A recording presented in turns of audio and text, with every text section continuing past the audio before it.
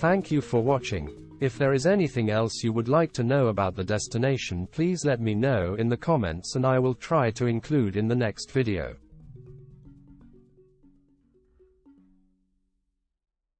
Share, like and hit notifications.